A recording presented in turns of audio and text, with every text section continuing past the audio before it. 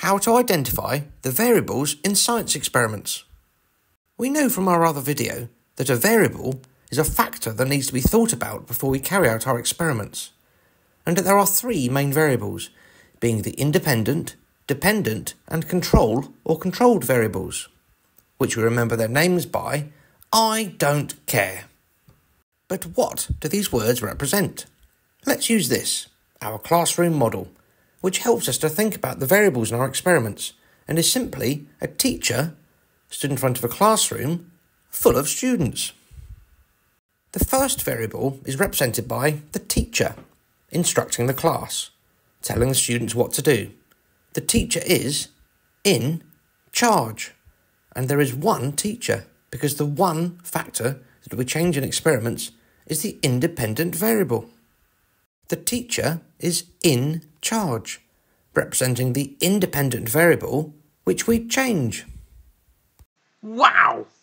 The second variable, as shown in our classroom model, looks at the teacher's feet, but they have no footwear on. Our teacher likes boots, especially DM boots.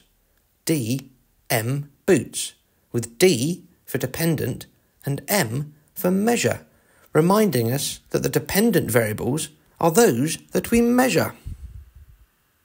The third variable to consider, and as shown in our classroom model, is that the teacher is in charge of the room and the students, so they are being controlled. The teacher ensuring that they all do the same. So, modelling our third variable, that the controlled variables are those that we keep the same. That's amazing! Our classroom model of a teacher instructing their students, the teacher being in charge, the independent variable that we change, the teacher also wearing DM boots, reminding us that the dependent variable is the one that we measure, and the students, representing the controlled variable, are all doing the same. Aren't the variables easy to remember now, using our classroom model of a teacher instructing their students helping us to identify the variables in science experiments.